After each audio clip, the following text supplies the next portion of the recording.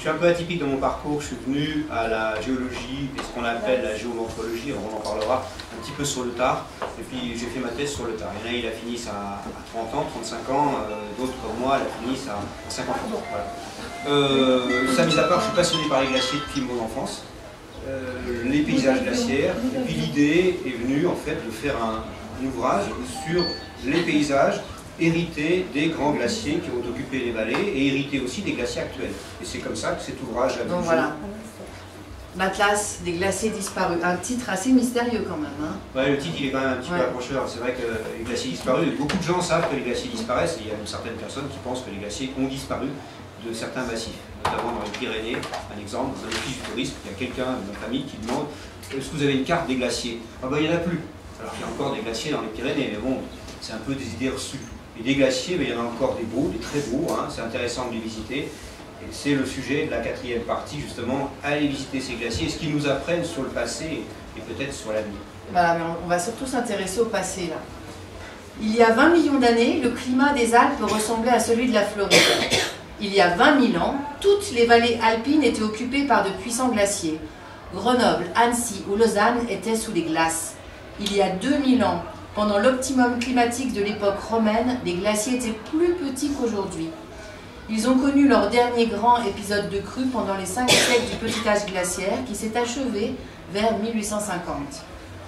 Depuis cette date, les glaciers reculent partout, dans les Alpes comme dans le monde. Un recul presque constant qui n'a été interrompu au XXe siècle que par deux périodes de crue, la décennie 1915-1925 et la période 1954 et 1991. La décennie 1990 a été la plus chaude du siècle. Depuis l'ablation estivale des surfaces glaciaires n'est plus compensée par l'accumulation, sauf en 1995 et en 2001. Cette situation est due à la diminution de la couverture nivale et surtout à la hausse des températures estivales qui accélèrent la fonte, donc l'ablation, à la surface des glaciers. Depuis un siècle, la température moyenne annuelle a augmenté d'environ 1 degré à l'échelle de la planète et de 2 degrés à Chamonix.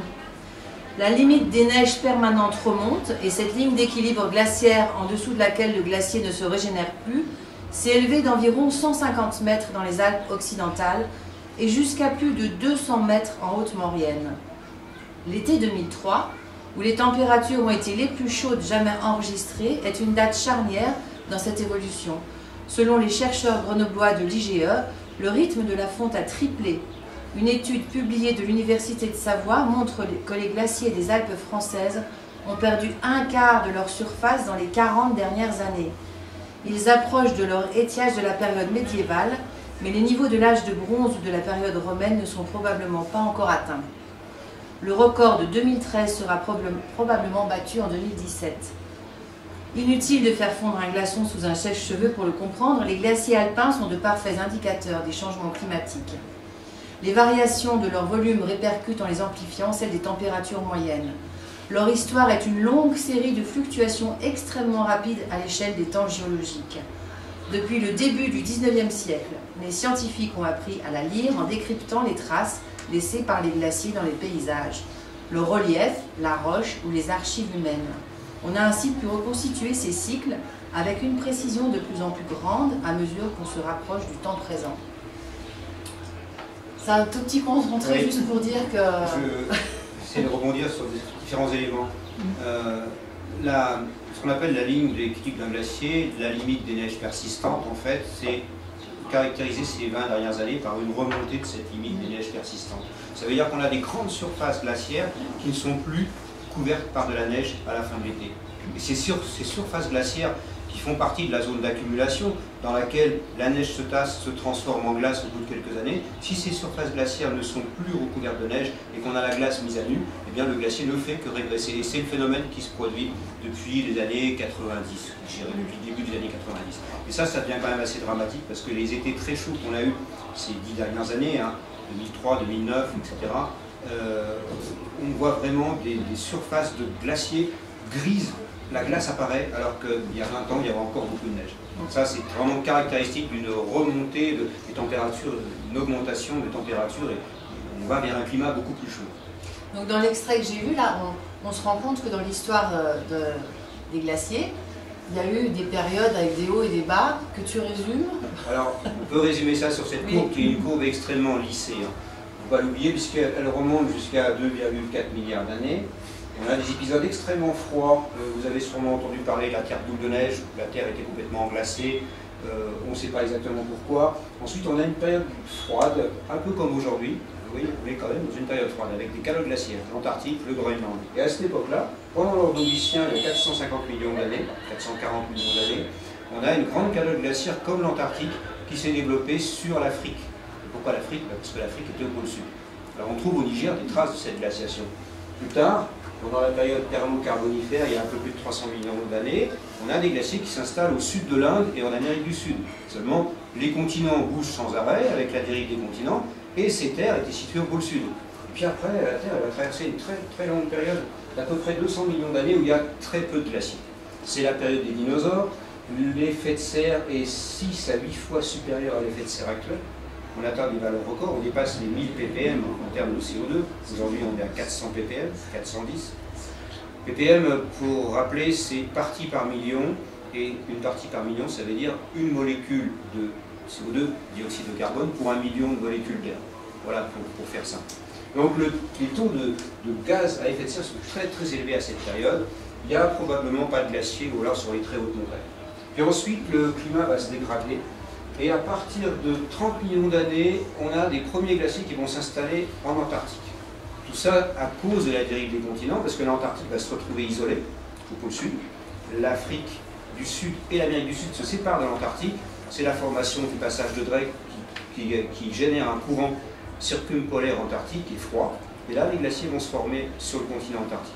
C'est, on peut dire, le début de l'ère glaciaire dans laquelle nous vivons il y a 20 millions d'années, voilà sur cette gravure qui est au Jardin des Glaciers à Lucerne, l'image des montagnes qui y a 20 millions d'années, la région de Lucerne reconstituée. Donc vous voyez qu'à l'époque, on ne parle pas de glaciers, même si les montagnes sont certainement plus hautes qu'aujourd'hui, d'après certains géologues. Ensuite, bah, le climat se dégrade réellement, on a des fluctuations avec des amplitudes de plus en plus importantes, surtout à partir de 3 millions d'années, et c'est l'époque des glaciations du quaternaire. Et aujourd'hui, c'est paradoxal, mais nous vivons dans le quaternaire. La prochaine glaciation, elle n'est pas pour demain, elle n'est pas pour dans 100 ans non plus, elle est pour dans 30 000 ans, à peu près 40 000 ans. Mais d'ici là, bah, les glaciers ont le temps de fondre, de, se reformer, de fondre, de se reformer, etc.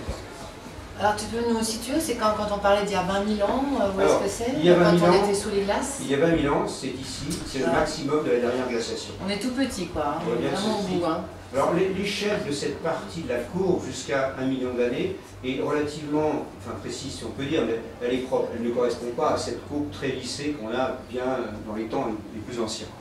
Et nous sommes ici avec des températures moyennes qui ont pris 1,5 euh, degré, voire 2 degrés depuis 150 ans, ça dépend des régions de la planète. C'est le bruit en fait. Déshabillez-vous On peut fermer la fenêtre si vous voulez, ça ne dérange pas. Hein. Non, non, non, non, on va laisser ouvert. Donc, euh, donc, nous, on se situe là. Et alors, est-ce que ces, ces courbes n'ont pas euh, servi aux climato-sceptiques pour dire que justement, il y a toujours... Non, complètement, ça sert encore d'ailleurs. Euh, récemment, on, on, découvre tous les ans des morceaux de bois rejetés par les glaciers qui nous montrent que la forêt s'était implantée à l'emplacement de certains glaciers beaucoup glaciers des Alpes, à l'époque romaine par exemple, où il y a 3000 ans, à l'âge du bronze. Donc ça sert beaucoup la cause climato-sceptique. Euh, alors le fait de dire que les glaciers ont connu des épisodes de, retrait très importants, c'est pas faux. Euh, c'est pas faux. Le climat a été un peu plus chaud et plus sec à certaines périodes. Par contre, aujourd'hui, on n'est plus dans le même cas de figure parce qu'on a une telle augmentation de gaz à effet de serre que ce n'est plus un phénomène naturel. Ça va très vite. Et on prend un simple exemple, euh, en période glaciaire, la teneur en CO2, dioxyde de carbone, est d'à peu près 180 ppm. On a parlé de ce que c'était ppm. En période interglaciaire, elle varie autour, elle fluctue autour des 280 ppm. Et ça, c'était valable jusque dans les années 40-50. Et à partir des années 60, ça commence à grimper. Et maintenant, depuis 2013, on a passé le seuil des 410 ppm. Là, il y a vraiment un problème, et c'est pas naturel. ça c'est vraiment c'est calculé, hein, le GIEC, d'autres organismes qui travaillent sur le climat l'ont calculé. Ce qu'on rejette dans l'atmosphère chaque année fait que en 2100, les teneurs en, dioxyde de carbone seront comprises entre 650 et 900 ppm. Là, il y a vraiment un problème, il faut trouver une solution. Alors en fait, il faut trouver une solution. Je dis ça, c'est facile de le dire, mais il n'y en a pas. Il faut être honnête, il n'y en a pas de solution aujourd'hui. Alors, euh, quoi faire? Laisser le climat se réchauffer et puis attendre la prochaine glaciation Ou là, on sera plus là. Non, mais il y a, ce sera. L'équilibre pourrait être retrouvé avant, sachant que les océans absorbent les, je vais, pas plaider pour une cause climato-sceptique où des gens pourraient dire ah bien continuons à polluer, tout ira bien. Mais les océans absorbent le dioxyde de carbone, notamment l'océan austral, ce sont des vrais, véritables puits de carbone, mais il faut un cycle complet de la circulation thermohaline, c'est-à-dire la circulation qui prend sa source dans l'Atlantique Nord et qui revient dans l'Atlantique Nord avec le Gulf Stream, ça met 1500 ans en moyenne. Donc c'est 1500 ans avant de retrouver un état d'équilibre. On va revenir au passé avant. Hein, pour, euh, En fait, c'est le passé qui nous aide à comprendre le présent et surtout à anticiper l'avenir. Des hommes ont vécu à proximité des glaciers depuis la nuit des temps, mais qu'en comprenaient-ils? De l'Antiquité au début du XIXe siècle, les écrits qui sont parvenus jusqu'à nous, descriptions d'érudits, de moines, de notaires ou de voyageurs, témoignent surtout d'une profonde incompréhension. Des paysans les faisaient traverser à leurs vaches munies de chaussettes observait leurs mouvements irrésistibles, entendait le craquement des crevasses et s'y retrouvait des corps. Mais ce savoir de riverain ne passait pas par les cris. Il faut attendre le début du XIXe siècle pour que les institutions et les observations de plusieurs esprits éclairés convergent. Elles se catalysent à partir de 1818 en trois décennies. La connaissance du phénomène glaciaire va progresser davantage qu'en deux millénaires. 1818, la catastrophe du glacier Gietro. Cette année-là, un événement dramatique attire l'attention de toute l'Europe sur un coin discret du Valais, à l'ombre du Grand Combin, le Val de Bagne. Le glacier du Gietro, suspendu 700 mètres au-dessus de la vallée, est en crue rapide. Ces séracs s'écroulent dans le fond du vallon au niveau du verrou de Montvoisin, où ils forment un cône immense qui grandit depuis plusieurs années. En avril 1818, ce glacier régénéré bloque le cours de la Drance, derrière ce barrage naturel, proche de l'actuel barrage de Montvoisin. Les eaux d'un très vaste bassin glaciaire s'accumulent, montant d'un mètre par jour. Le fond de la vallée est plat sur plusieurs kilomètres et cette étendue même multiplie la masse d'eau retenue. Plus elle est importante et plus le risque grandit, le barrage finira fatalement par céder et les flots ravageront la vallée, comme cela s'est produit plusieurs fois dans le passé. On sait par exemple qu'en 580, le siège de l'évêché de Martigny fut transféré à Sion à la suite d'une inondation dont le glacier du Gietro aurait été responsable. Le climat se refroidissant à partir du XIVe siècle, les crues de ce glacier provoquent d'autres catastrophes dont on a gardé la trace, le 7 août 1549, puis de nouveau le 4 juin 1595. Ce jour-là, le barrage de glaciaire du Gietro céda de nouveau. Les flots dévastèrent les villages de la vallée jusqu'à Martigny, 150 personnes environ, dont la moitié dans cette dernière ville, trouvèrent la mort. Une nouvelle inondation aux conséquences plus limitées se produisit en septembre 1640. Mais revenons aux événements de 1818. Tu peux nous expliquer un peu En 1818, c'est surtout euh, des savants, des scientifiques comme euh, comme Ignaz Benetz, qui était ingénieur et qui a tenté d'éradiquer la catastrophe. Donc il a fait creuser un tunnel à la dynamite, il a creuser une tranchée, l'eau a commencé à s'évacuer, mais le, flot a complètement érodé la tranchée et le barrage a cédé d'un seul coup, comme, on l'a dans les récits. Mais finalement, euh, ça s'est traduit par 39 morts à peu près jusqu'à la La catastrophe a été moins importante qu'en 1595, mais quand même. Alors à ce moment-là, il y a beaucoup de scientifiques qui se sont retrouvés dans le Val-de-Bagne et qui ont écouté les témoignages d'un paysan lourtier, euh, euh, Péroudin, euh, qui est un, ancien de l'armée suisse, qui était lettré, qui écrivait, qui écrit d'ailleurs une lettre à Ignaz Venetz pour lui expliquer qu'il a constaté, bien en aval de nos voisins, bien en aval de Champsec, Val-de-Bagne, des traces des glaciers qu'il en a vu jusqu'à Martigny, et qui pense que dans un lointain passé, les glaciers avaient atteint Martigny, et que des blocs de rochers, qu'on appelle maintenant des blocs erratiques, avaient été déposés très très loin. Alors les, scientifiques se sont vraiment interrogés là-dessus. Ça a mis du temps, ça a mis à peu près 30 à 40 ans avant que, après 1818, avant que cette fameuse théorie glaciaire soit adoptée. Alors la théorie glaciaire, c'est quoi? C'est la théorie qui dit que les glaciers ont plusieurs fois envahi, ont débordé sur la bordure des Alpes, comme à Lyon, comme à près de Bâle, comme dans la région du, glacier du Rhin, euh, Schaffhausen. Donc ça, c'est maintenant acquis depuis 150 euh, ans. Euh, l'origine surtout, c'est la découverte des blocs erratiques. Les blocs erratiques, on en trouve un petit peu partout sur la Haute-Savoie, sur le territoire suisse, sur les Alpes. Alors en voilà un. Alors on peut l'appeler d'erratique bien qu'il ne soit pas encore déposé. Il est disons euh, en phase de transport, c'est une tape glaciaire sur le glacier d'Alèche.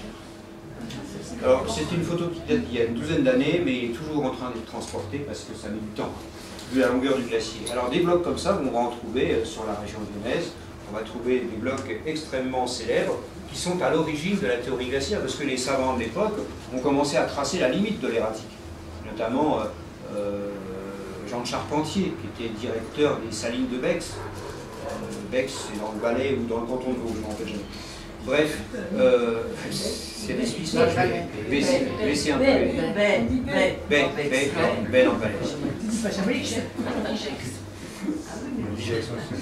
Donc les blocs erratiques ont permis de cartographier l'extension des glaciers, mais l'extension maximale. Après, on s'est basé sur d'autres dépôts, des moraines, plus ou moins anciennes, on a des critères de différenciation, ce qui permet de différencier les glaciations par ordre de, taille et d'étendue décroissante. Voilà quelques exemples de blocs erratiques. Hérité des glaciations, alors il n'y a pas que des blocs erratiques, il y a aussi des lacs. L'exemple du lac des Quatre Cantons, qui est une cuvette surcreusée. Alors le terme surcreusé, on l'emploie en glaciologie. Hein. quand un glacier rencontre une barre rocheuse de roche dure, il va creuser en amont et il va recreuser en aval. Et on dit qu'il va surcreuser, il va surcreuser la vallée plus profondément que ne le ferait un fleuve. Donc là, c'est le cas de, la Reuss, qui est à... Excusez-moi. Je coupe tout ça. Je ne l'ai pas jeté. C'est rare que je me fasse piéger. Hein. Donc euh, le glacier de la Reuss a entaillé en direction de Lucerne cette vallée de la Reuss à l'emplacement du lac des Quatre Cantons. Et puis les autres euh, héritages des glaciers, il y en a un que vous connaissez tous pratiquement, c'est hérité de 1825, maximum d'extension de la mer de glace. Au village des Bois. Au village des Bois. Euh, un bloc qui est classé hein, par Alphonse Fabre, qui est un scientifique géologue suisse de Genève, qui avait répertorié 125 blocs erratiques depuis le village de Chamonix à l'époque jusqu'à Genève, et marqué d'un F euh, et numéroté. Alors, au sommet du Salève, on a des blocs erratiques, et celui-là est très connu des Lyonnais, c'est celui de la place de Gros-Caillou à la Croix-Rousse. Vous connaissez peut-être pour avoir été à la place de Gros-Caillou. Voilà, donc ça fait partie de l'héritage géomorphologique. Et la géomorphologie, c'est l'étude des processus qui ont amené euh, au paysage que l'on connaît aujourd'hui. Et un paysage dans les Alpes qui est immédiatement hérité de l'impact des glaciations. Un simple exemple, depuis un million d'années, on considère qu'il y a à peu près 10 glaciations qui, se sont étendues et qui ont occupé les vallées des Alpes. Les grandes vallées, comme celle du Rhône en amont de Martigny et celle de Grenoble, celle de l'Isère en amont de Grenoble, surtout d'Albertville, se sont approfondies d'un kilomètre et demi à peu près. C'est l'érosion glaciaire qui a creusé ces vallées. Et quand les glaciers sont partis, on avait des grands lacs. Les grands lacs ont été comblés par les alluvions, et c'est pour ça qu'on a des plaines toutes plates, à Pontcharrat, à Salanches, à Bonneville. Ce sont des, toutes les industries humaines, les infrastructures humaines et l'agriculture, quand il en reste, euh, est posée sur du remplissage d'alluvions post-glaciaires. Chamonix, c'est pareil. Et euh, tu veux parler un peu de la, période, revenir juste sur le petit schéma pour parler de la, période du Wurm? Alors on va en parler Depuis 2 millions et demi d'années, alors c'est le, chapitre 2 en fait du livre, hein. on a une succession de glaciations, on ne va pas toutes les détailler, on va juste s'arrêter sur une carte qui illustre la dernière. Mais avant tout, c'est important de situer le Wurm. Le Wurm, il est là. Vous voyez, dans le pavé euh, bleu, il a commencé il y a 70 000 ans à peu près, avec des petites variations. Hein. Une, glaciation, ce n'est pas linéaire. On a des glaciers qui avancent à un point euh, extrême, qui vont reculer pendant, pendant quelques millénaires et qui vont réavancer. Donc le maximum de froid de la dernière glaciation s'est produit il y a à peu près 22-24 000 ans. Les glaciers des Alpes ont atteint leur maximum autour de 30 000, après ils étaient déjà en, régression. Euh, en régression pourquoi? Parce qu'on avait une série d'anticyclones extrêmement froids euh, dus aux grandes calottes glaciaires sur l'hémisphère nord, donc il y avait beaucoup moins de précipitations neigeuses, donc moins d'alimentation. Et puis la dernière glaciation s'est terminée il y a 11 000 ans. Et il y a 11 000 ans, on est véritablement rentré dans ce qu'on appelle les temps post-glaciaires, et nous vivons aujourd'hui dans les temps post-glaciaires. Alors pour illustrer cette période justement de la dernière glaciation, voilà la carte du biome. Entre 28 et 35 000 ans, je dirais. Pour l'instant, il y a un grand débat sur l'âge, on ne va pas en débattre. Il y a beaucoup d'empoignades, beaucoup de dogmes aussi, comme dans toutes les disciplines de toute façon. Là, faut que tu dises les noms. Parce Alors on va, on va détailler tout ça. Euh, grand chose, là. Si on regarde vers le nord, ben, on a Zurich ici, les lacs sont présentés en pointillés. Le lac de Neuchâtel, je n'ai pas de baguette, c'est dommage. Les lacs, vous les apercevez en pointillés, vous avez le lac Clément, merci. Lausanne, le lac Clément en pointillé, le lac du Bourget, le lac d'Annecy, et on voit très bien, et le Mont Blanc est ici. Le Mont Blanc, le voilà, avec Chamonix au milieu de la carte, et on voit très bien d'ailleurs voilà, Chamonix, le point rouge. Et on voit bien que ces glaciers se terminent sur la région lyonnaise, au centre de la glaciation de Chamonix. D'ailleurs, vous verrez quelques photos de synthèse tout à l'heure qui montrent un peu la, situation euh, environnementale de la vallée de Chamonix, enfin du moins euh, ce qui était sous, sous la glace. Plutôt la glace par-dessus. Donc Lyon, à 15-20 km de Lyon, à ce moment-là, le glacier arrive à peu près à l'emplacement de l'aéroport Saint-Exupéry. On voit également que toute la vallée de la Baltée le grand glacier d'Amalté passe sur Aoste et vient mourir dans l'amphithéâtre morénique d'Ivrea. Quand vous prenez l'autoroute en direction de Turin, vous avez cette grande moraine d'Ivrea, rectiligne que l'on suit sur 25 km à peu près. C'est absolument gigantesque. C'est l'accumulation d'une dizaine de glaciations, ces moraines. Elles font jusqu'à 350 mètres de hauteur. Euh, voilà, que dire d'autre? La calotte jurassienne est complètement autonome. Elle, empêche le glacier du Rhône de pénétrer dans le Jura par les, plus basses dépressions. Et on voit que le glacier du Rhône s'étend surtout vers le nord, en direction de Soleure, au nord du lac de Bienne et du lac de Neuchâtel. On peut dire alors que nos glaciers actuels sont, sont les héritiers de cette période? Plus ou moins héritiers, oui, mais ils ont certainement fondu beaucoup plus à certaines périodes, donc ils se sont reconstitués. Mais les glaciers d'aujourd'hui bah, sont les embryons de ce qui pourrait devenir, dans 30-40 000 ans, à nouveau des grands glaciers. C'est même une évidence. Ah, pour toi, c'est des embryons? Oui. D'accord. Ou, ah, alors des, reliques. Ça dépend de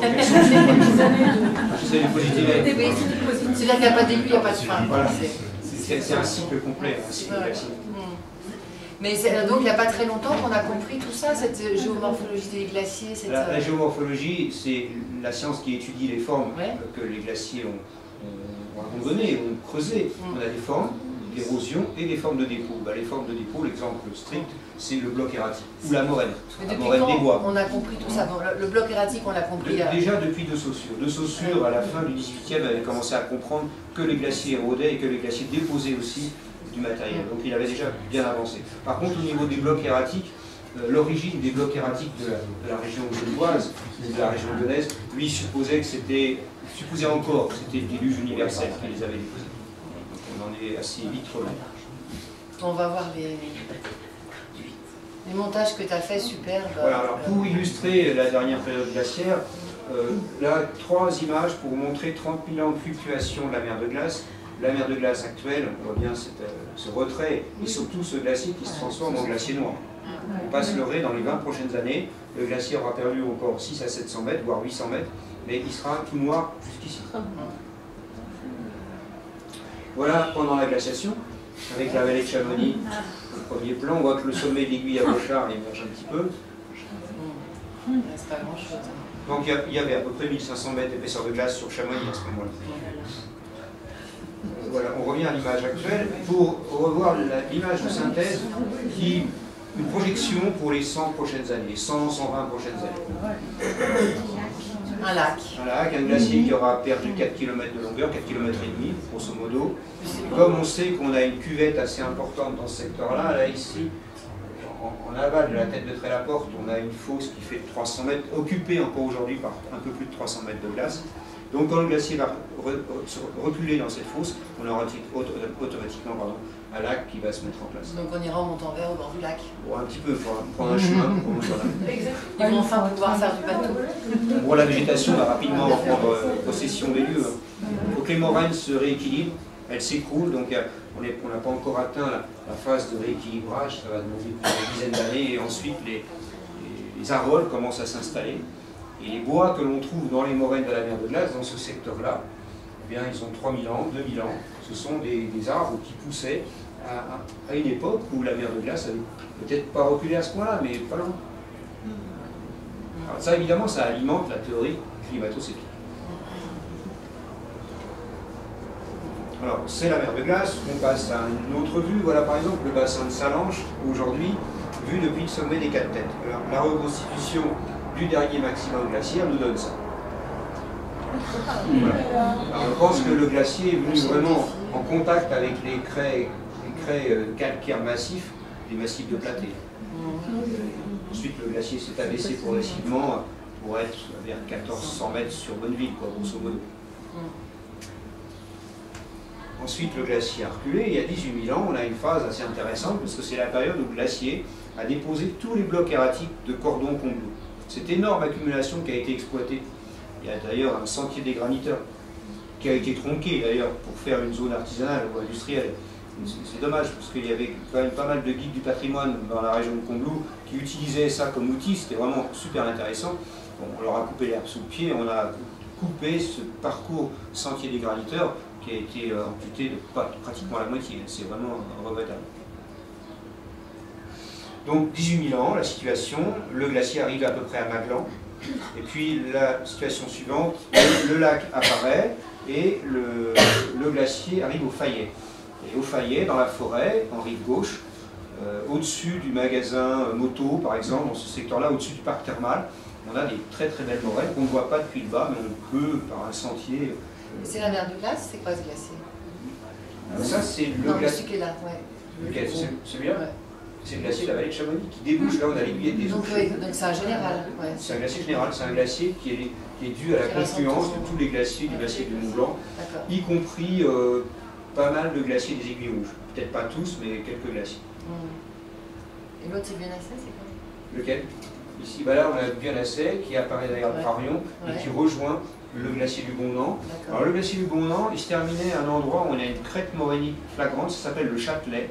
Quand vous prenez, que vous êtes à Saint-Gervais, vous prenez le grand pont qui est tout neuf, hmm. il y a quelques années, et le grand pont, la route fait un grand virage en amont du pont, il vient buter contre la colline du Châtelet, là où vous avez les ruines d'un château.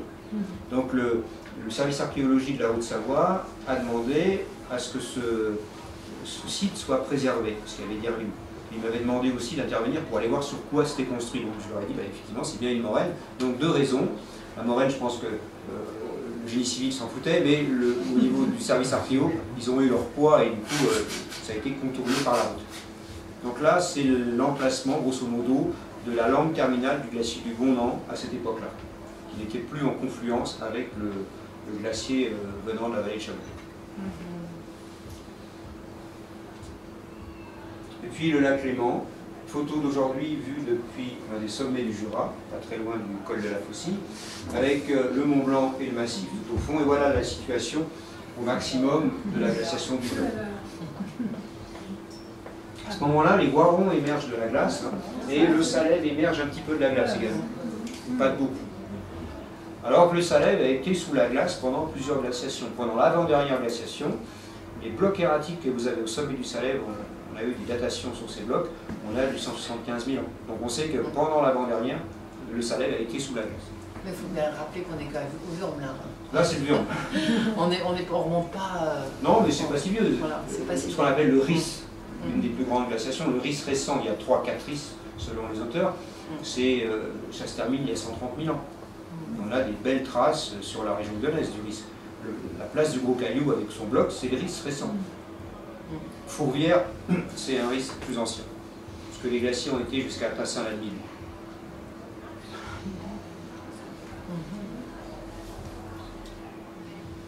Alors, une photo de la région lyonnaise d'aujourd'hui, grosso modo, avec dans le lointain le Mont Blanc évidemment, bien visible par beau temps. Là, on voit la centrale du budget, ce qui permet de localiser le plateau de Crémieux.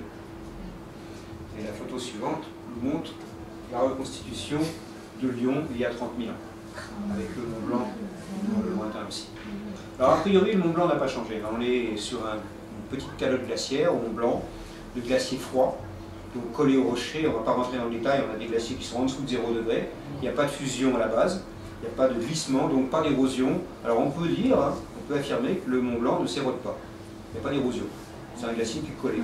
Par contre, la glace qui, qui est la carapace de glace du Mont Blanc, elle descend quand même, mais elle descend par déformation interne, par fluage. Donc ça, c'est le glacier du Rhône. Alors ça, non, justement, ce sont tous les glaciers réunis sur la région lyonnaise qui viennent principalement de la Vanoise, de la Maurienne et de la Tarentaise. Et par les couloirs, ce qu'on appelle des couloirs glaciaires, c'est-à-dire le Val du Bourget et le, la Cluse de Chambéry, principalement. Et aussi le- vallée occupée par le lac d'Annecy aujourd'hui, Cluse d'Annecy. Donc les, les glaciers ont transité d'est vers l'ouest. Bon, honnêtement, je n'ai pas trouvé de dépôt, dans le cadre de mon travail scientifique, venant du bassin lémadique sur Lyon. Tous les dépôts viennent de la Vanoise. Les cailloux, les blocs, les sables fins, les, les minéraux lourds, toutes les analyses nous donnent des roches qui viennent de la Vanoise et même du Beaufortin.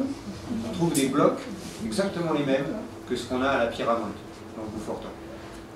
Donc c'est des vrais marqueurs. Alors le voit le plus au sud, là, c'est quoi? C'est Vienne ou c'est... Non, non, non, là c'est la confluence euh, du Rhône et de la Saône. Euh, le musée des confluences doit être par là aujourd'hui. Ah ouais. On n'est on pas, on va pas jusqu'à Vienne. Alors le glacier du Rhône, il était où alors Bah, le glacier du Rhône, son cours principal était surtout euh, dirigé vers le nord de la Suisse. Ah, Le, le lobe suisse fait quand même depuis Lausanne jusqu'à Wangen, au Moraine terminal, 100 km de longueur. Et c'est très très large. Donc euh, l'évacuateur de tout le Valais, c'était principalement par là, et une partie du glacier du Rhône s'écoulait par la Chautagne, sur Bellegarde, jusque dans la région de Culose. D'accord. Mais guère, guère au-delà. Guerre au-delà. Euh, Parce que dans la cluse des hôpitaux, dans les grottes, j'ai trouvé des sédiments qui viennent vraiment de la Vanoise. Je ne sais pas si vous voyez où est la cluse des hôpitaux. On part de Saint-Rambert, euh, on remonte en direction de Culose, le, le train, le- la route, tout passe par cette dépression étroite.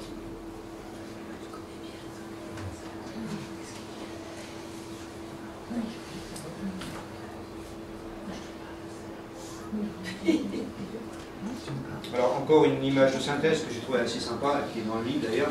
Une photo prise en automne depuis le sommet du Catogne. Le Catogne qui domine le coude du Rhône à Martigny. Catogne, on est à 2500 mètres, donc on a vraiment une vue euh, assez extraordinaire sur la vallée. On voit bien Léman dans le lointain, les dents du Midi, les dents de Morcle, et le paysage pendant le maximum de la dernière glaciation sur Martigny. Avec la calotte glaciaire du Jura au fond. Parce que le Jura avait sa propre calotte glaciaire comme on l'a vu tout à l'heure. Et puis le glacier Culé, il y a 18 000 ans, à l'époque où le glacier de l'Arve se termine à Maglan, eh bien, le glacier de Rhône à Martigny se termine dans Léman, un petit peu en aval du verrou de Saint-Maurice. Le verrou calcaire de Saint-Maurice, il est là-dessous. Donc il est jamais allé à Genève, Ah si Ah si, mais avant.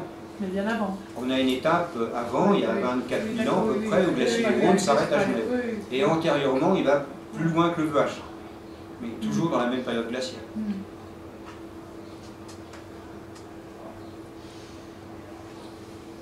Et on rentre dans la période Alors, Je un petit passage. Un événement majeur de l'histoire du climat commence en 1350, le petit âge glaciaire. Jusqu'en 1850, le climat de la planète se refroidit avec un paroxysme au XVIIe siècle, entre 1580 et 1710. C'est la plus grande poussée glaciaire depuis la fin de la dernière glaciation. Il y a 11 700 ans, l'avancée glaciaire provoque des catastrophes lors des lacs de barrages glaciaires se vidant brutalement. Elle détruit alpages, canaux d'irrigation, chapelles, chemins et même villages. L'inquiétude et l'intérêt pour le phénomène augmentent. Le petit âge glaciaire a d'abord été étudié dans les Alpes, mais c'est aux États-Unis qu'il a été baptisé. Au début du XXe siècle, le topographe américain François-Émile Mathès étudia en profondeur les dépôts glaciaires de la Sierra Nevada et s'intéressant aux petits glaciers encore existants, Il identifia en aval de ceux-ci une série de moraines bien conservées. Il baptisa cet épisode Little Ice Age. Le petit âge glaciaire, que les chercheurs abrègent souvent par PAG, compte quatre maximums vers 1350, 1640, 1820 et 1850. Il est maintenant admis qu'il débute après l'optimum climatique médiéval avec la dégradation climatique du XIVe siècle et prend fin vers 1850-1860. Le PAG touche l'ensemble du globe, se caractérise par des séries d'hivers froids et d'étés frais et des avancées successives des glaciers auxquelles correspondent plusieurs minimums des températures moyennes très nettes, 1 à 1,5 degré de moins qu'aujourd'hui.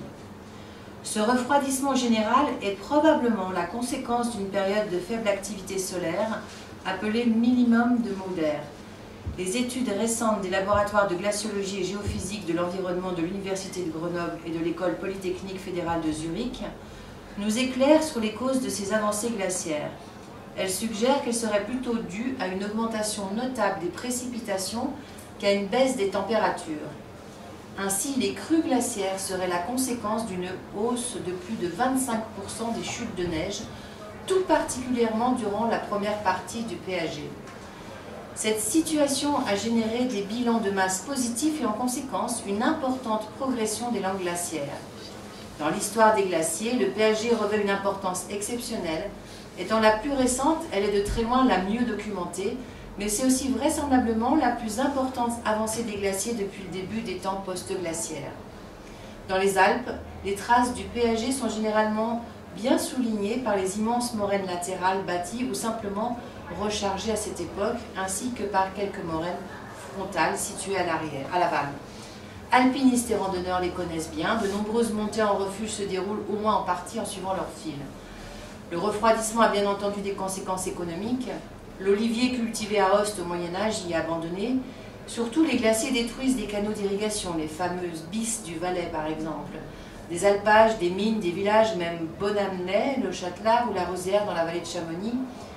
Tiefenmatten, près de Zermatt, est l'une des dernières grandes crues se produit au début du 19e siècle, non seulement dans les Alpes, mais aussi dans toute l'Europe.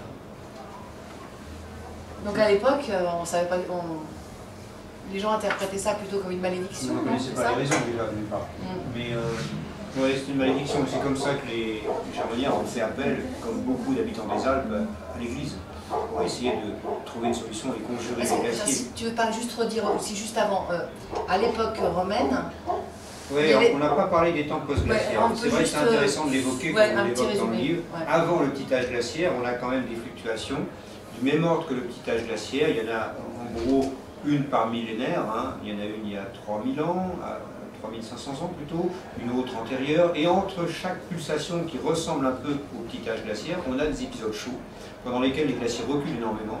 Et aujourd'hui, on pense que 50% du temps qui s'est écoulé depuis 11 000 ans, donc depuis le début du temps post-glaciaire, a, a eu des glaciers 50 euh, comme aujourd'hui, voire plus courts.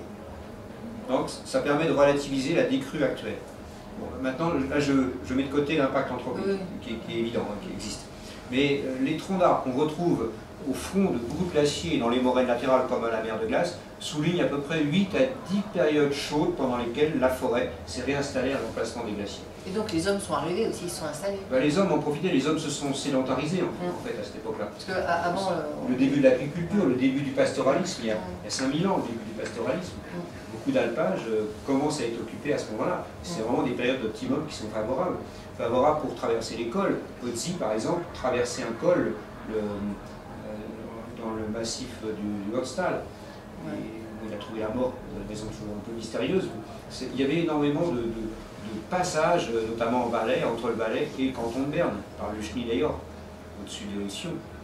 Euh, donc c'est des périodes favorables pour l'homme, et après on, a, on retrouve un optimum très important, c'est l'époque romaine, et après dégradation, dégradation climatique euh, qui suit l'Empire romain, Euh, à nouveau une période chaude au Moyen Âge, au- vers 1200, 1100 à peu près, et à partir du XIVe siècle, le petit âge glaciaire démarre. C'est une des plus grandes poussées en fait de, cette période post-glaciaire. Ce qui était intéressant aussi de- d'expliquer, dans le texte, on parle que la période du quittage glaciaire, la période la plus froide, notamment au XVIIe siècle, a généré une série de bilans de masse positifs. Ça, c'est intéressant de l'expliquer. Qu'est-ce qu'un bilan de masse? Alors, on ne fait pas un bilan de masse chaque année pour tous les glaciers. il y a 5 glaciers en France et 6 glaciers en Suisse qui sont mesurés. On fait un rapport entre l'accumulation et l'ablation de la période estivale. Et le bilan, bah, est-ce qu'il est positif, est-ce qu'il est négatif?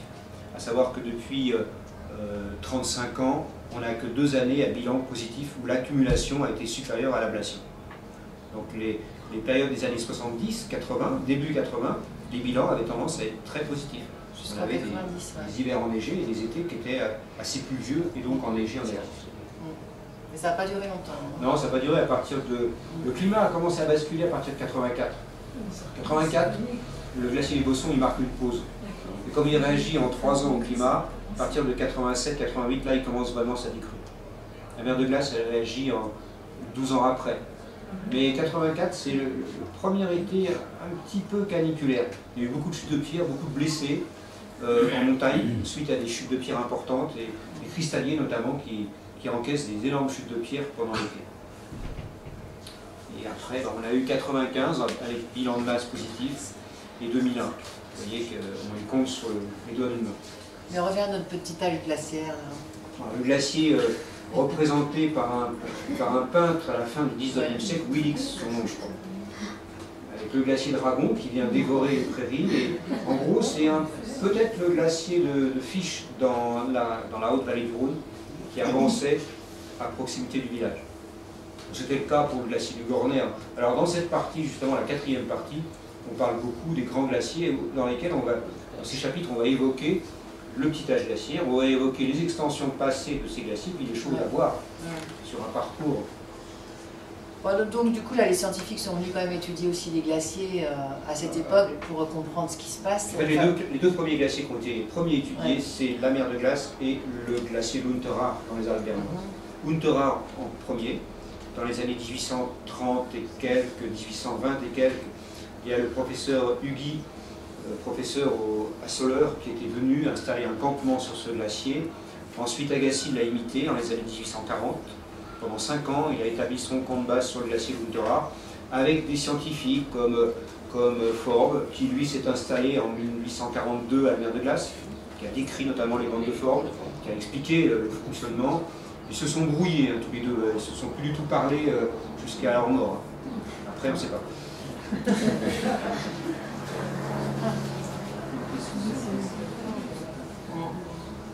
On a justement une spécialiste de Forbes ici, ce soir présente. Peut-être nous en dire deux mots. Il était venu s'installer pour, euh, pour étudier justement le, glacier, le fonctionnement ah, oui, oui, Justement, euh, la rencontre avec Agassi a été fondamentale. Agassi n'était pas un spécialiste, il était spécialiste des poissons fossiles, il est professeur à Neuchâtel, et puis euh, il a rencontré Charpentier, et il s'est complètement passionné euh, pour euh, la théorie glaciaire, et il en a été un promoteur complètement zélé, et il rencontre Force dans un coin perdu du nord de l'Écosse. Et Fort, lui, connaît très très bien les Alpes, auxquelles il est venu déjà depuis son jeune temps euh, à marcher, mais il est professeur de physique. Et en fait, Agassi invite Force sur la Harpe en 1840, 41. Le 8 août, il est là, ils se rencontrent. Le 9 août, euh, Forbes montre à Agassi la structure verticale de la glace qu'Agassi n'avait pas vue. Et, il prend une passion euh, pour la, glaciologie, qui lui permet aussi de satisfaire son goût de la montagne et son goût pour courir la montagne. Et il dit l'année prochaine, donc l'été 1842, le meilleur glacier à étudier, le glacier, c'est la mer de glace, parce qu'elle est à proximité, il y a des gens très compétents, et il y a également l'auberge du Montanvert qui sera vraiment l'endroit où je pourrais étudier. Il y a une autre anecdote aussi, c'est que je crois qu'ils sont, ils sont brouillés, parce que l'un d'entre eux, alors je ne sais pas si c'est fort, mais ça c'est peut-être une source venant d'Agassiz, ou inversement, il y en a un des deux qui a publié des données au glacier, relevé au glacier Loutora en son nom propre, sans associer l'autre. Non, mais euh, là, là, moi, je prendrais bien sûr la défense plus forte, mais, en disant avec, avec Agassi, ce ne serait pas tellement mal passé parce qu'Agassi a vite ou- oublié les Alpes, il est parti à, en Amérique, hein. ouais. il est parti en Amérique, mais il y en avait un qui était très jaloux, c'est De Sorbe, Ah, de ouais, voilà, c'est. De Sorbe, où il y Ouais. avait une rivalité de montagnards. D'accord. Voilà, donc. Ouais. Ouais, Mais c'est vrai que moi je, je, je défends. Mais je la mode. Non, je suis pas amoureuse de. Mais je, Elle est passionnée. je veux le défendre. Voilà, Il faut écrire quelque chose là-dessus. Mais c'est fait. mais Ah j'ai bon Et donc, euh, ce petit âge glaciaire, tu voulais dire quoi d'autre dessus Donc le petit âge glaciaire, ben, on- euh, il génère euh, la photographie des glaciers aussi. Hum. Parce que dans les années 1850, on a énormément de photos qui sont faites, alors que les glaciers, dans certains cas, n'ont pas encore atteint leur maximum. Le glacier de- du Gorner, qui est en crue, a atteint son maximum en 1866. Le glacier de Mouterin en 1871. Et ça, on a des glaciers en crue qui sont photographiés. Alors là, j'ai quelques noms, on a surtout des exemples. Ah, oui, alors je voulais d'accord. parler aussi de l'origine du, du tourisme, mais aussi Ah, de l'origine de l'intérêt pour les glaciers. C'est William Pocock, 1741. Ça, c'est une des origines. C'est pas le premier glacier visité, parce qu'on a des aristocrates bernois qui ont visité le glacier inférieur de Grindelwald au XVIIe siècle, dans les années 1630-35. Oui, non, faut faire dire que c'est c'est chez nous, quoi. Hein Soyons un peu chauvin. Donc euh, on a énormément de, de lithographies aussi. Voilà le glacier des Bois en 1821 ou 22.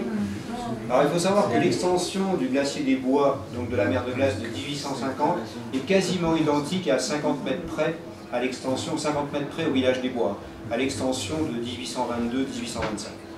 Là, c'est tout ce qui m'a permis d'illustrer le, le propos de, de- des processions, puisqu'il y a énormément de grands glaciers qui ont vu leurs processions, le glacier du Gorner, le glacier d'Alège et la mer de glace et le glacier d'Argentière.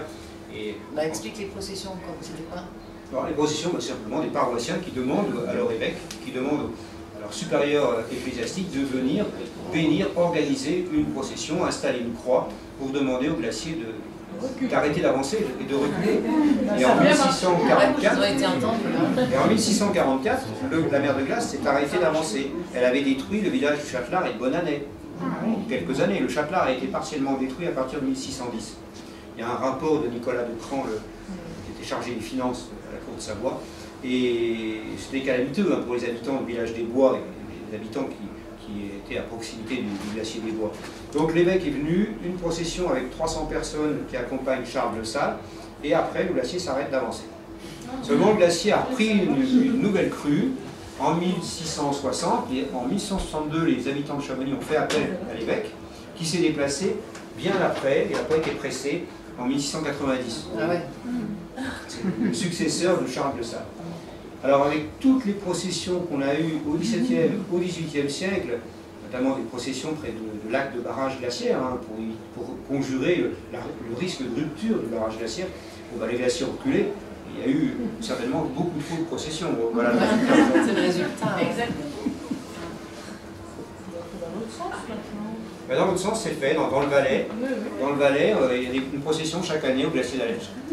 Euh, à partir de 1987, je crois que les habitants ont demandé au préfet de la vallée de Conche d'aller voir l'évêque. Il l'a fait.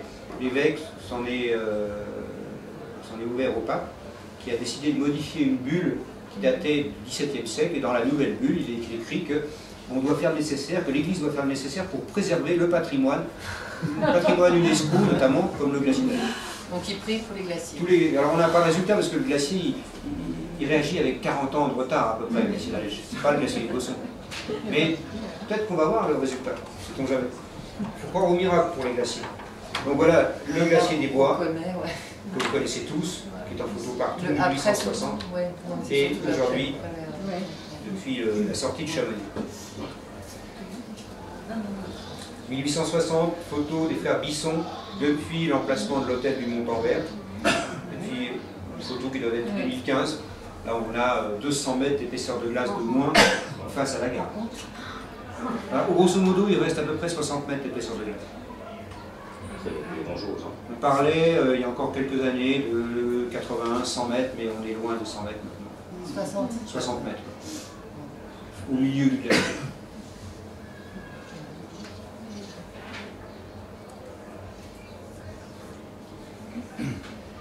Dans le livre, effectivement, alors, donc c'est un atlas des glaciers disparus, mais dedans, il y a aussi euh, une, une invitation, une dizaine de randonnées des plus beaux glaciers, mais des randonnées guidées avec des points de vue. euh, Il y a, il y a plusieurs types, il y a plusieurs euh, niveaux tu vas expliquer, ouais. en fait.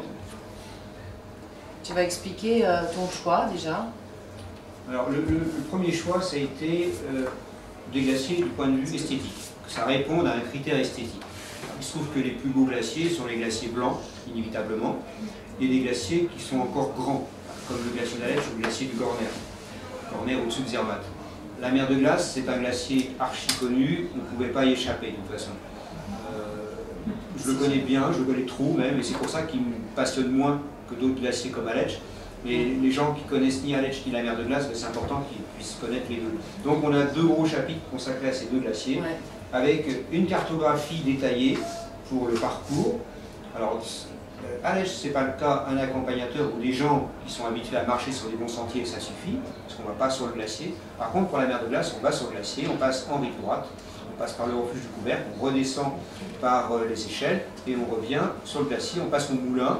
Et dans le livre, il y a des numéros sur chaque carte qui permet à cet endroit-là de se référer à un chapitre dans lequel on va parler des moulins, on va parler de la bédière, on va parler des, roches moutonnées, les roches moutonnées qui sont les roches polies par la glace, puisque maintenant le glacier descend tellement en épaisseur qu'il libère une d'impressionnantes euh, da- dalles de roches moutonnées, hein, qui ont été polies euh, il y a encore 10 ans, même pas. Donc euh, pour chaque glacier, on a un itinéraire en pointillé et on décrit, et il y a des points d'arrêt où on va décrire un phénomène particulier. Donc il y a le glacier du Rhône, donc là c'est vraiment un glacier disparu. Un glacier, oui, oui, si on veut, j'ai une photo, une belle photo Ouais. euh, du glacier du Rhône. Euh, Il y a toute une partie du glacier du Rhône qui a effectivement disparu. Là, on commence par le glacier blanc, glacier blanc, glacier noir, dans le massif des écrins, les glaciers les plus méridionaux que l'on traite. ne sont pas les plus au sud. hein. Le plus au sud, c'est le glacier du Clapier, euh, qui se situe euh, derrière la cime du Gélas, en massif de l'Argentera. C'est un glacier résiduel. Glacier blanc, qui est encore bien blanc, il a énormément reculé malheureusement. Le glacier d'Aletsch en Suisse, avec, euh, là sur cette photo, vous avez 2 km de largeur. C'est le plus grand en fait ça. Ouais. Oui, c'est c'est le plus Europe. 22 km de largeur. Hein Pas en Europe, en Europe c'est le Josdalbrin, qui est en, en Scandinavie. D'accord. C'est un plateau, un glacier de Alors on va cave. dire dans les Alpes. Ouais, dans les Alpes, c'est le plus grand des Alpes. Ouais. Qui, est- qui se réunit à Concordia, En Suisse, ça. Auvernoise. Quand on est à Martigny, on remonte la vallée du Rhône, en direction de la source du Rhône, et à un moment donné, la vallée devient de plus en plus étroite. Après les bifurcations, Zermatt et ça se fait, et vous arrivez à Brigue, c'est juste en amont de Brigue. Et là, vous avez plusieurs téléphériques qui vous permettent d'accéder aux crêtes. C'est des stations hein, en hiver, et on a une vue absolument extraordinaire sur le glacier. Et de là, on peut faire quelques belles randonnées découvertes. Tout est expliqué dans le livre. Notamment euh, dans le livre, je parle de la croix du Bazetfli, c'est une croix qui est en aval du glacier, un endroit qui atteignait le glacier dans les années au XVIIe siècle, au XIXe, et là il y a eu des processions, jusqu'à 300 jésuites qui sont venus en procession ici, en 1818. Et le fameux bouc du glacier d'Aletsch, la légende du Rollibock.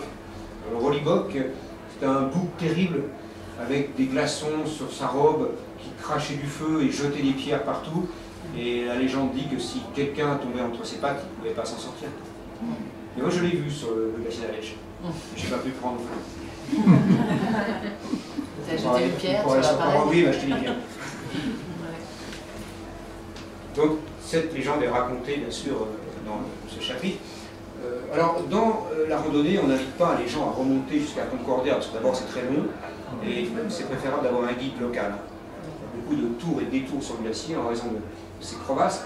Et là on voit très nettement que le glacier prend une partie de sa source au pied de la Letchorn, à 3200 mètres, et ensuite dans le secteur de la Jungfrau, au Jungfraujoch, le col de la Jungfrau, où arrive le train le plus haut d'Europe. Un panorama absolument extraordinaire. Et là, vous avez la confluence de trois, quatre grands glaciers qui vont former ces fameuses moraines médianes que l'on suit euh, jusqu'au bout. Euh, Là, c'est en hélico que c'est fait. ça. Comment ça Alors, à Concordia, la place de la Concorde, ici, on a encore 900 mètres d'épaisseur de glace. Là, on passe 900 mètres, on passe à 500 mètres d'épaisseur à la sortie de Concordia, et ensuite tout le long, euh, bon, ça descend progressif, donc l'épaisseur diminue régulièrement.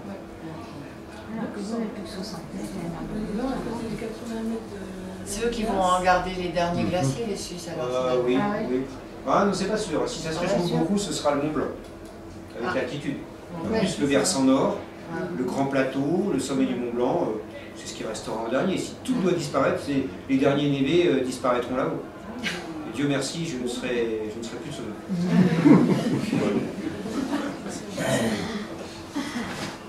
Voilà le glacier du Rhône aujourd'hui, qui est très joli. hein. Il est encore blanc.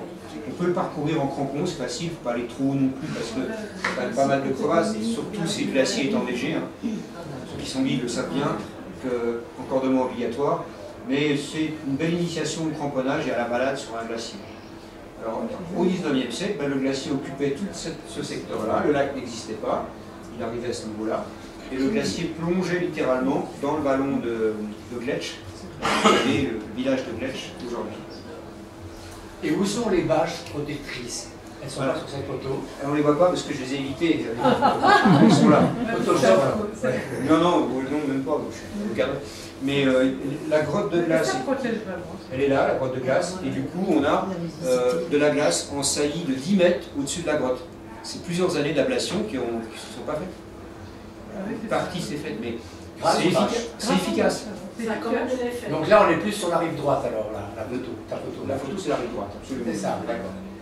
Le lac fait quand même 45 mètres de profondeur. Ouais, quand même. Et on avait une partie du glacier qui était flottant il y a encore 5-6 ans. Ah ouais C'est ce qui explique pourquoi il a reculé aussi vite dans le lac. Un glacier qui arrive dans un lac recule très très vite. Malheureusement. Ah ouais. Donc maintenant, il, est, il repose sur le substrat. Euh, J'y suis allé au bord, j'ai été regarder un peu partout. Effectivement, on voit bien le, le substrat rocheux, ou le sable plutôt, euh, où arrive la glace. C'est assez transparent, on le voit bien. Donc de ce côté-là, on aura un recul qui sera moins, moins important. Voilà, c'est la dernière euh, diapo. Ah oui, bon. Je ne vais pas surcharger, euh, sinon vous pourrez regarder les photos pendant des heures. Ouais. Mais par contre, si vous avez des questions, n'hésitez pas, pas, profitez-en. je hein. On a des spécialistes, euh, plusieurs, de l'histoire, de, de Forbes, de géomorphologues. euh, Allons-y. Sylvain, j'ai encore une question. J'ai été très étonné que le glacier de Bionacé, il y a 16 000 ans, ne descende même pas jusqu'au Fayet, alors qu'il reçoit un bassin d'alimentation de, de- de haute altitude. Ça va du Doum-Toulouté à Bionacé, etc.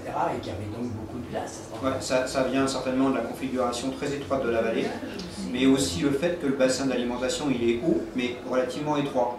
Là-dessus, on peut rajouter les glaciers du désert de Pierrefonds, une partie du glacier de la partie, le plateau du glacier de la Gria, tout ce qui était sur le plateau de Tétrousse, mais en fait, le bassin versant n'est pas immense.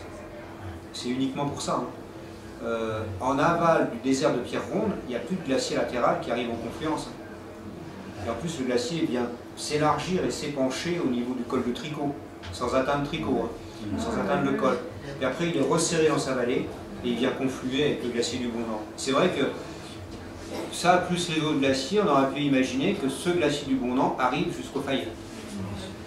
En fait, à l'époque, on avait un lac entre le glacier de l'Arbre et le glacier du Bondan, dont on retrouve le- la formation deltaïque qui a été complètement incisée par le Bondan. On la retrouve en rive droite du Bondan, euh, juste au-dessus du parc thermal. Là, on voit bien la stratification, c'est impressionnant, c'est un delta école. Merci. C'est. À partir de quel moment on peut considérer un glacier froid et un glacier tempéré À partir du moment où il est en dessous de 0 degré, D'accord. tout simplement. De ça 0 degré euh, La- Dans la masse. de, de l'air ou 0 degré Dans la masse. niveau du, Dans la masse. Dans, dans le rocher. Dans le Non, rocher. pas dans le rocher, pardon. Dans la masse même du glacier. La masse du glacier. Ça peut être à la surface, euh, l'interface glace-roche si elle est en dessous de zéro et si la glace est en dessous de zéro. On va dire que le glacier est froid à la base. C'est le cas du glacier du dôme du Boutet, où à 3400 mètres, il est encore à moins 2 degrés, juste au-dessus du socle rocheux, donc il est collé, il n'y a pas d'eau de fusion, mais quelques 50 mètres au-dessus, il est tempéré, il est à zéro. Donc c'est un glacier polythermique. Par contre, à 4300 mètres, il est à moins 11 degrés, au sommet du dôme. Donc il est collé. Il est collé, il est collé euh, Il n'y a, pas de- il y a pas de fusion. il n'y a pas de fusion, il, est- il se décolle au niveau de la chute de Sérac qui domine le glacier Tacona. D'accord. Et c'est pour ça que chaque année, cette chute de Sérac, elle est surveillée Elle est, euh, elle est prélevée par un carottage qui va jusqu'au socle rocheux. Ils posent des gars du LGGE en hélico, ils font leur carottage, derrick en fait pour le faire, et on mesure la température à la base du glacier. Et c'est vrai que le glacier pourrait devenir tempéré. Et s'il devient tempéré, on aura de, l'eau à la base, ça va générer d'énormes avalanches. Il y aura des très très grosses avalanches. Oui, et puis des gros paquets qui vont, qui vont se casser littéralement. Mm. Plusieurs millions de mètres cubes de glace qui vont descendre jusqu'au au bassin de réception de Tacona. Et au-delà. Et au-delà peut-être. oui, Et c'est ça le problème, c'est c'est bien ça le, le souci. Parce qu'en en imaginant, s'il n'y a personne sur la route blanche, Ouais. pas grave. Mais s'il y a du monde sur la route blanche, c'est embêtant. C'est Oui, celui à Chamonix qui présente les blanche, il y a touristes, des ouais. Oui, non, ouais. C'est le glacier de Tacona. C'est ce qui est surveillé. Ouais. ouais. Des habitations au-delà de la. Ouais, il y a pas mal d'habitations dans le bas de Tacona vers le Novotel, tout ce secteur. Bon, le bassin de réception est très large, mais peut-être pas suffisant. Ça peut descendre jusqu'au bois. De toute façon, un jour ou l'autre, si le oui, ça ira jusqu'à la route, hein, même au-delà. Voilà. Si, parce que si on a une avalanche de glace, de, de glace euh, qui va devenir poudreuse, pulvérulente, ça va atteindre, vu la, vu la hauteur, vu la dénivelé des vitesses considérables, une avalanche extrêmement destructrice, comme une avalanche de poudreuse. C'est 300 km au maximum. mais il va Jusqu'à atteindre 300 km. Ouais. Donc euh, c'est pour ça que chaque année, euh, ce, ce rapport est, est remis aux autorités locales. Et le LGGE dit voilà, on a relevé quelle température. Pour l'instant, il n'y a pas lieu de s'alarmer. C'est ce qu'on appelle le, pro- le programme. Inondation. Alors qu'est-ce qu'il faut faire? Rien. Déménager. bah, pas faire jeter venir sur les les serrages de bâches, Tacona. faire venir les bâches dans une possession. Ben oui, peut-être les mecs. Mais, Alors, ces bâches, ça marche vraiment. Ah, mais ça marche. Très localement. C'est toi qu'il faudrait En Vanoise aussi. Non, mais on, on peut recouvrir 50, 100 mètres, ou je sais pas, 3000 mètres carrés comme on l'a fait, mais pas plus. La, la mer de glace, c'est c'est 28 km carrés. Euh, le glacier d'Alège, c'est 88 km carrés. Donc, il n'est pas possible de couvrir la zone d'accumulation avec des bâches. Ou alors, il faut demander des bâches biodégradables, blanches, avec une réflexion du soleil, redescendre financées par, euh, par euh, je ne sais pas, les, les- un émir arabe qui, qui a des milliards, ne plus savoir qu'en faire. Alors là, oui, on Non, c'est- la mort du paysage. Mais oui, Ouais, ça. si ça reste blanc. Enfin, Mais même, même, même ça. Ouais. Est-ce que dans, dans un avenir lointain, on peut revenir à la période de Rouillard Vion, oui. Vion, Oui, c'est allemand en fait. Ouais, ouais, c'est. Le nom d'une rivière de Bavière. Euh, oui, oui d'après les modèles qui, qui tiennent compte des paramètres astronomiques, le prochain cycle glaciaire, la prochaine glaciation, devrait commencer dans 30 à 40 000 ans. On a le temps. Ah ouais. On a un peu de temps pour. En fait, il y a beaucoup de liens entre l'étude de, des perforations justement dans les, dans les Carottages. les carottages Ouais. et, et donc, et le climat. Et est-ce qu'on peut expliquer aussi toutes ces fluctuations de climat qu'il y a eu pendant, comme on a vu tout à l'heure euh, Tu disais à un moment donné c'était le soleil. Les, les grandes fluctuations, Comment ça s'explique ça les grandes fluctuations qu'on va retrouver sur Ouais. cette courbe, on va retrouver là. Ouais. Alors, le début des fluctuations est principalement lié à un soleil dont l'énergie est nettement inférieure, peut-être 20 à 25 Il émettait moins, euh, 25% de moins en énergie dans les temps les plus anciens, au-delà d'un milliard d'années. Euh, ce qui expliquerait, mais ça, ça reste à mettre au conditionnel, la Terre boule de neige. Ensuite, on a la position des continents. Et la position, la dérive des continents, c'est un des principaux forçages climatiques. C'est-à-dire que si vous avez des continents rassemblés à l'équateur, le climat est chaud. Si vous avez des continents rassemblés de préférence au pôle, le climat est beaucoup plus froid. Puis après, il y a le sens et la circulation des courants océaniques autour de ces continents. Et ça aussi, c'est très très important. Les courants océaniques, comme on les connaît aujourd'hui, se sont mis en place à la fermeture de l'isthme de Panama il y a 4 millions d'années à peu près. Donc, à 4 millions d'années, on a la circulation thermohaline qu'on connaît aujourd'hui. Et un hémisphère nord qui est beaucoup plus arrosé, et notamment le Groenland et les Alpes. Donc la position des continents et des courants marins, c'est un des principaux forçages. Dans 40 millions, 50 millions d'années, bon là c'est encore une autre histoire, la position de l'Europe sera plus au nord. Donc on aura peut-être la plus de continents. Là il y a quelqu'un qui a beaucoup travaillé sur la tectonique qui peut peut-être euh, donner quelques infos là-dessus. Ça bouge pas beaucoup. Ça bouge pas tant. hein. Ouais. Mais d'après la dérive des continents, ce serait plutôt dans ce sens-là que ça irait. Plutôt, oui. Ouais. Mais peut-être à la l'échelle. Californie, hein. Californie, Ouais, ouais. elle monte à 6 cm par an. Hein. Ah oui d'accord, ah ouais, ouais. elle va être plus vite. Elle va refroidir aussi alors. Ah ben, elle s'en refroidira là un peu près du nord, c'est sûr. on attend, on attend quand même. Oui, mais alors là, par contre, là, Alors, les fluctuations concernant les grandes glaciations, ces fluctuations à partir du Pliocène, il y a 3 millions d'années, ce serait plutôt des paramètres astronomiques. Autrement dit, la position de la Terre sur son axe, plus ou moins incliné, la position de la Terre qui décrit un axe plus ou moins allongé à certaines périodes, et la précision des équinoxes. Et ces paramètres-là font qu'on on rentre dans une période glaciaire ou qu'on en sort. Et la fréquence de ces paramètres fait qu'à un moment donné, on se retrouve dans une situation confortable pour qu'on ait un englacement généralisé. Enfin, généralisé, un englacement très favorable. Par exemple, il y, a, il y a 15 000 ans, alors que les glaciers arrivaient encore presque au Fayet, eh bien, les paramètres astronomiques euh, montraient une situation propice à la déglaciation. C'était un climat chaud. Bon, il y a un temps de réponse? Alors, juste un- une dernière chose, pour les fluctuations de plus courte durée, comme celle des temps post-glaciaires, petit âge glaciaire, réchauffement, là, on serait plutôt soit dans la circulation océanique, euh, la NAO, oscillation nord-atlantique, euh, soit dans euh, ce qu'on appelle l'activité solaire. Les cycles de Maunder, cycles de Sporer, ce serait plutôt dans ce registre. Et il y a aussi un autre phénomène qui a été étudié il y a pas longtemps, c'est le volcanisme. Des- les volcans d'Islande, entre autres, euh, de l'hémisphère sud, ont été peut-être des catalyseurs pour déclencher le petit âge glaciaire. Le volcanisme, est- c'est un paramètre très important. C'était ma question, mais c'est à une échelle très très très courte, je crois, le volcanisme. Sur quelques années, ouais. Ouais. Oui, oui, parce que les poussières sont rapidement dissipées et, et retombent assez vite.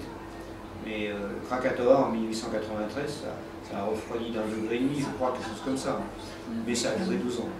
Le euh, Tambora, en Indonésie, ça a été en 1815. Ah, ça a été catastrophique pendant quelques années. D'où les, les étés, l'année sans été, je crois que c'est 1816, il me semble bien. Eh bien, ça, c'est les grandes crues du glacier de Gétro, eh bien, même de la mer de glace et des bossons, c'est cette époque-là. La catastrophe de Gétro survient en 1818, après plusieurs années de crues importantes des glaciers. Euh, les, les premiers hommes, vous pouvez les resituer, là, c'est 60 000, 1000 ans à peu près, non les Les premiers pro- alors ça dépend à à quel niveau vous situez l'homme, l'homo habilis, l'homo sapiens. Et tout ça. Voilà, déjà, 60. l'Ho- l'homo habilis, c'est un million et demi d'années. Alors, un million et demi d'années, on est dans ce secteur-là. Voilà, on est par là. Un million et demi d'années, il y a déjà des glaciations. Elles, sont, elles ont une amplitude moins importante. C'est seulement à partir d'un million d'années, on les a une grande amplitude et qu'on a des grandes glaciations. Et l'homo, euh, l'homme, les pré-néandertaliens, on va les trouver il y a à peu près 300 000 ans, pendant le Riss. Et le néandertal évolue vraiment à la fin du Riss et pendant une bonne partie du Jurne. Et là, il va côtoyer pendant le Jurne, jusqu'à 30 000 ans à peu près, les Homo sapiens. Et l'Homo sapiens devient dominant à partir de 25-30 000 ans, plutôt 30 000. On a des campements euh, néandertaliens dans les Alpes qui sont datés euh, autour de 35-38 000 ans, dans des grottes. Gibier daté, euh, industrie, euh, À l'époque du lithique, oui, pendant le Donc ils étaient euh, plutôt. ils étaient situés où? Ben, par exemple, dans, la vallée de l'Arbre, Ouais. dans la vallée de l'Arbre, vous voyez, on a. Au Salèche, je sais qu'il y avait. Alors, c'est les abris vallée de Verrier sous Salève, ouais. Alors, c'est les Magdaléniens, c'est un chasseur magdalénien d'il y a 15 000 ans, 14 000 ans. Par contre, les hommes de Néandertal de- des Alpes, on en retrouve dans le vallon Tanais, dans la vallée du Rhône, un petit peu en aval de Martigny, rive gauche, à 1500 mètres quand même, ça veut dire que les glaciers avaient bien reculé. Et c'est cette période-là, là, vous voyez, ce petit Ah réchauffement-là, Ouais. vers 30 000 ans, entre 30 et 50 000 ans. Là, on a 20 000 ans de réchauffement, de retrait intense des glaciers. Et dans la vallée de l'Arbre, on va trouver des traces de- d'industrie euh, euh, moustérienne dans la grotte euh, d'Oignon, la grotte du Barret, au village d'Oignon. Voilà. Ben, Vous vous servez du passé en fait pour faire des projections sur de futures ères glaciaires, 30 ou 40 000 ans. Oui. Mais dans le passé, il n'y avait pas toute la pollution industrielle. Ah oui, non, mais je, je suis tout à fait d'accord.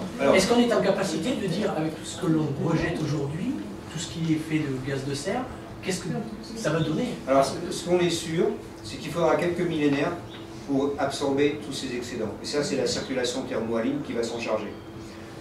à condition qu'on arrête d'émettre des gaz à effet de serre aussi.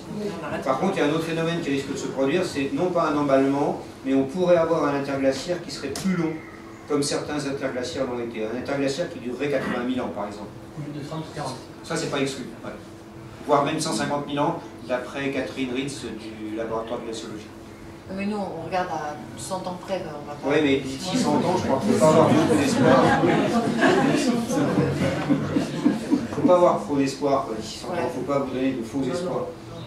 Je ne veux pas vous vendre des glaciers euh, qui reprennent du volume dans les 20 ans, par exemple. Bah, c'est dommage. Sylvain, une- une question sur ces histoires de glaciers froids.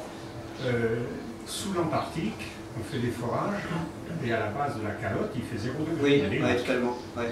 Alors je me posais la question sur les glaciers alpins dans les zones d'accumulation, en haut d'Aletsch par exemple, dans le haut de la vallée blanche ou sur, le- sur- sur la partie qui, qui est classée comme glacier froid, s'il y a des mesures de température en bas. Ouais, en fait, on s'aperçoit que tout le socle rocheux de ces glaciers est, est au- est à zéro, voire au-dessus de zéro. Parce qu'il y a un film qui d'eau. réchauffe par en dessous. Il y a un film d'eau, il y a le gradient géothermique. Voilà.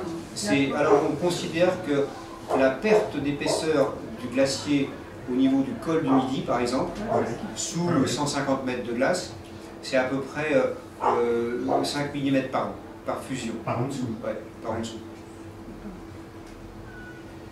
Et Alors, si en on a, Antarctique- pardon, En Antarctique aussi. Alors en Antarctique, Ouais, on a des glaciers qui sont froids dans toute la masse, ouais. entre moins 30 et moins 54 degrés à peu près. hein.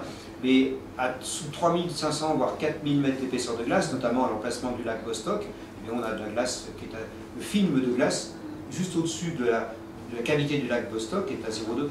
Il y a des lacs en dessous. Il y a des lacs. et si on a encore 10 hivers comme celui qu'on vient d'avoir, qu'est-ce qui va se passer à Chamonix? J'en sais rien, c'est les étés qui vont la suite des glaciers. Le, le glacier survivra à condition qu'on ait des étés pourris. Eh oui.